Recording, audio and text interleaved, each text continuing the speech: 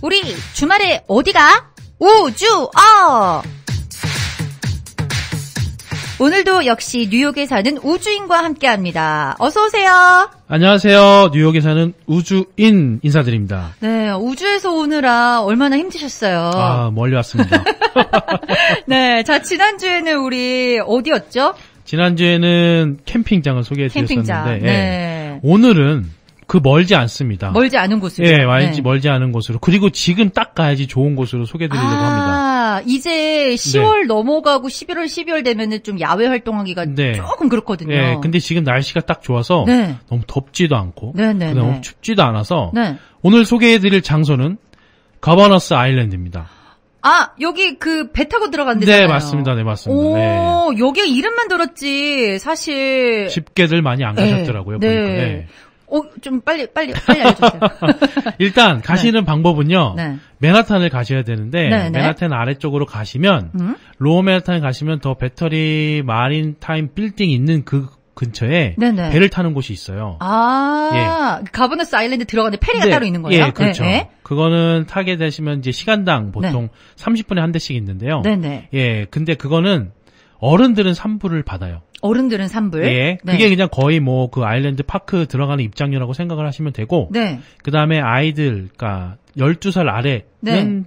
프리고요. 아, 아이들은 프리이고 어른들은 그냥 산불만 내면 되는군요. 네, 그렇습니다. 네. 예, 그렇게 해서 거기서 배를 타고 들어가시면 시간은 한 15분에서 30분 정도 걸리는데 네. 그냥 배로 쭉 가시면 15분 정도 걸리는 것 같아요. 아. 근데 오늘 지금 날씨가 좋아서 네. 그게 참 시원하고 아주 네네. 바닷바람 맞는 그런 느낌, 배 오. 타고 가는 느낌, 네네. 뭐 그런 걸 잠깐 느끼실 수 있습니다. 네. 예, 그리고 들어가시면 네.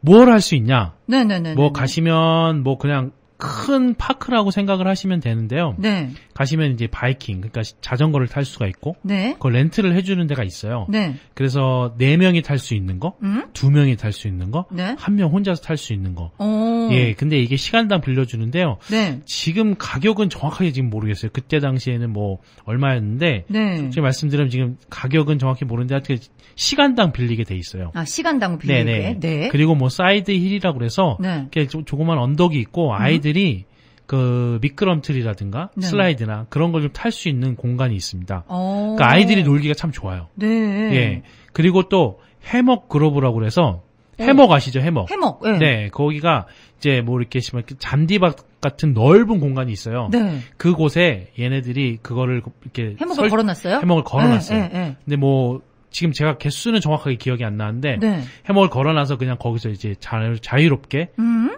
쉼을 즐기실 수가 있습니다. 아. 그런 걸 할 수가 있습니다. 네. 예, 거기서. 네. 이게 또 바다와 그리고 맨하탄 아래 보시면 이제 바다가 있잖아요. 네. 예, 거기를 이렇게 따라서 네. 이렇게 산책도 할 수 있고 음. 아까 말씀드린 자전거를 타면서 이렇게 자유롭게 즐기실 수도 있고 네. 그런 공간입니다. 어. 이거는 이제 구체적으로 그냥 기본적으로 할 수 있는 거고 네. 근데 또 이제 9월, 10월이 되면 이벤트를 하게 돼 있는데요. 아, 이벤트. 예. 네. 얘네들이 아 이곳에서 네. 더 야드라는 곳이 있습니다. 더 야, 야드? 해가지고 네. 플레이그라운드처럼 만들어 놨어요. 네. 그래서 요번 이번 주 토요일, 그러니까 쉽게 말해서 9월 26일 토요일, 네. 10월 3일 음. 토요일 두 번만 하더라고요. 예. 다음 주 하고. 네, 다음 주 토요일이요. 네. 예, 그때 두 번을 하게 돼 있는데 이게 무슨 공간이냐면은 아이들이 그냥 쉽게 말해서 그냥 playground 같긴 하지만 네. 뭐 다양하게 이제 놀 수 있는 체험할 수 있는 음? 그런 것들을 이렇게 만들어 놨어요. 네. 그리고 예, 여기서는 이제 시간은 12시부터 4시까지 어. 시간을 좀 맞추셔야 될 거예요. 네네. 그리고 거기에 다 이제 지금 때가 때인 만큼 음? 한꺼번에 다 그냥 들어갈 수는 없고 네. 30명까지 얘네 이곳에서 기준을 잡고 있습니다. 네. 그래가지고 30명이 들어가면 그 다음에 줄을 서서 기다려야 되고 어. 그리고 여기는 대신에 이제 5살 이상인 아이들 음. 예, 그 아이들만 받게끔 돼 있습니다. 아. 근데 이게 제가 봤는데 네. 그러니까 이미지로만 봤어요. 그 곳은 장소는 제가 봤었는데 지금 네. 이걸 어떻게 꾸몄는지는 잘 모르겠지만 네. 거기를 꾸며놓은 곳에는 이제 뭐 쉽게 말해서 playground 이제 monkey bar라든가 네. 뭐 그런 것들이 있잖아요. 네네. 근데 그것보다 좀 변형이 돼서 오. 뭐 그걸 좀 재밌게 만들어 놓은 것 같더라고요. 오. 예.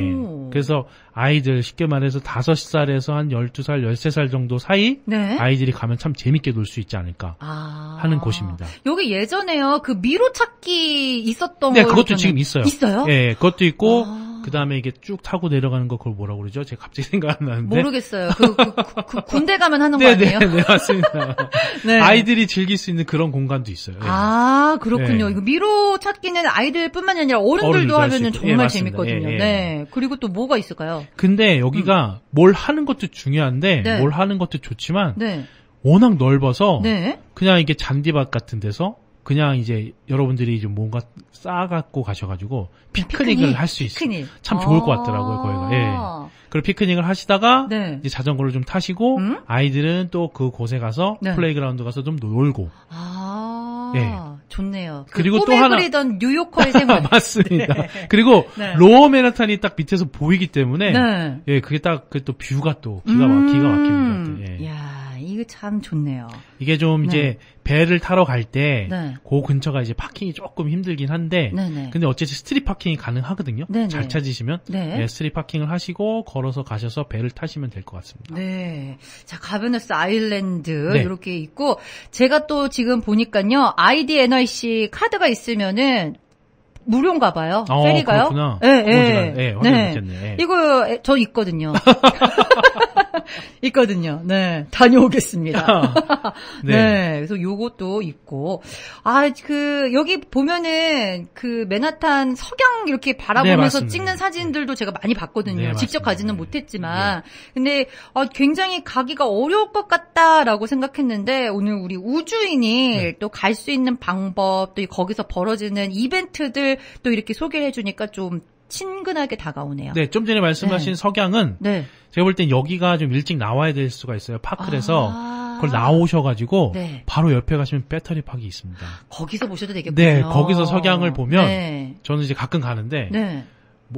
기가 막힙니다. 아 그러면은 여기 가면은 우리 우주인 볼 수 있는 거예요? 어, 어떻게 하고 계실 거예요? 이렇게 파라란 들어가지고 안테나 이렇게 좀 제가 하고. 생각을 해서 한번 공지를 한번 해보도록 네, 하겠습니다. 그래서 어떻게 우리 다닐지. 모두 다 네. 가가지고 네. 뉴욕에 사는 우주인을 한번 만나보는 것도 좋을 네. 것 같아요. 우리 우주인은 주말에 뭐 하실 거예요?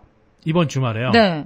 어, 이번 주말에는 저 제가 지난주에는 네. 저 맨하탄에 있는 이제 뮤지엄이 새롭게 열었다고 그래서 네. 예, 그 메트로폴리탄을 잠깐 갔다 왔는데 네네. 지난주에 사람도 별로 없고 참 좋더라고요. 네네. 어차피 뉴욕에 사시는 분들은 공짜이기 때문에. 네. 근데 이번 주는 네. 어 이제 가을이 되다 보고 애들이 아이들이 학교를 가다 보니까 네네. 집안을 좀 정리해야 되지 않을까. 아 그래요? 그리고 음. 아이들이 시가 시기가 되니까 배치를 좀 바꿔달라고 하더라고요. 아, 가구 배치라든지 자기 가구 방을 배치. 예, 자기 방을 좀 바꿔달라고 해서 우주에서도 가구 배치하는군요. 그래서 네. 이번 주는 네. 아이들과 함께 집에서 좀 보내려고 아, 합니다. 네. 아, 지난주에 다녀오신 museum 좀 다음 주에 소개 좀 해주세요. 어 맨하탄에 수많은 museum이 있습니다. 여러 가지. 여러 가지. 좀 모아 여러분, 모아 예, 모아서. 모아서 한번. 엑기스로 한번 해주세요. 알겠습니다. 좀 이번에 그렇게도 하도록 하겠습니다. 네네. 예. 자, 우주에서 먼 길 오시느라 고생하셨습니다. 또 이렇게 우리 청취자분들을 위해서 가버너스 아일랜드에 대해서 소개를 해주셨는데요. 어, 여러분께서 혹시, 어, 디죠 어떻게 가죠? 요거를 물어보시면 제가 또 이 정보를 간략하게 카톡으로 또 보내드리도록 하겠습니다. 자, 오늘도 먼 길 오셔가지고 우리 지구 인들에게 갈 만한 곳을 또 소개해 주셔서 감사합니다. 감사합니다. 네, 다음 주에 봬요. 네.